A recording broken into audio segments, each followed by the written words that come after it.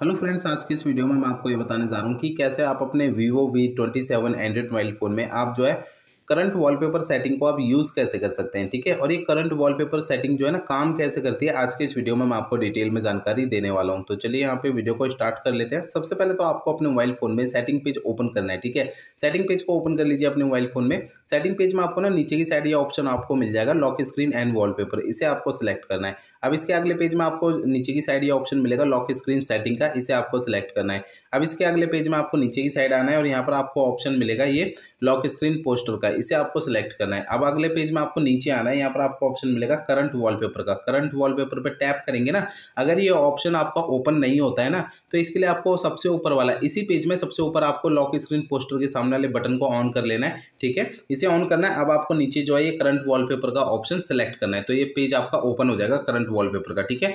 अब आपको इसमें है ना, सबसे नीचे आपको ये ब्लू कलर में ऑप्शन दिखाई देता है एड लोकल वॉलपेपर इसे आपको सिलेक्ट करना है।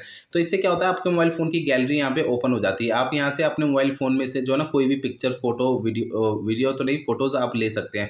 जैसे मैं ये वाला एक पिक्चर ले लेता हूँ और यहाँ पर एक ये वाला पिक्चर ले लेता हूँ। इसके बाद आपको सबसे ऊपर ये राइट क्लिक का ऑप्शन दिखाई दे रहा है, इसे सिलेक्ट करना है। तो आपका ये जो है ना एडेड सक्सेसफुली हो जाएगा। ठीक है, अभी ये करंट वॉलपेपर सेटिंग आपकी काम कैसे करेगी, ये मैं आपको बता देता हूँ। ठीक है, आपका मोबाइल फ़ोन जब भी लॉक स्क्रीन पर होता है ना तो आपको लॉक स्क्रीन पर है ना, इस तरीके से स्लाइड करना है लेफ़्ट और राइट इस तरीके से स्लाइड करना है। ठीक है तो आपके जो ये जो लॉक स्क्रीन के पोस्टर होते हैं ना इनके अंदर जो है आपके पिक्चर्स यहाँ पे सेट हो जाती है ऐड हो जाती है, ठीक है? आप ये देख सकते हैं, ठीक है? तो इस तरीके से ये करंट वॉलपेपर सेटिंग काम करती है। आप इसमें चाहे जितने मर्ज़ी पिक्चर्स आप जो है ऐड कर सकते हैं, ठीक है? तो यहाँ पर जो है ये सेटिंग इस तरीके से काम करती है करंट वॉलपेपर सेटिंग ठीक है?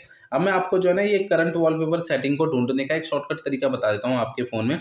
इसके लिए आपको करना है क्या? मोबाइल फ़ोन का सेटिंग पेज ओपन करना है। सेटिंग पेज में आपको सबसे ऊपर ये सर्च आइकन सेलेक्ट करना है और यहाँ पर आपको सबसे ऊपर सर्च बार में टाइप करना है करंट वॉलपेपर ठीक है? तो यहाँ पर जो है ना, नीचे की साइड आपको एक करंट वॉलपेपर का ऑप्शन शो हो जाएगा, इसे सेलेक्ट करना है। इससे क्या होता है, आपका मोबाइल फ़ोन आपको डायरेक्टली सेटिंग पेज में लेकर आ जाता है और नीचे की साइड आपको ये ऑप्शन मिल जाता है। तो ये मैंने आपको एक शॉर्टकट तरीका भी बता दिया आपके मोबाइल फ़ोन में।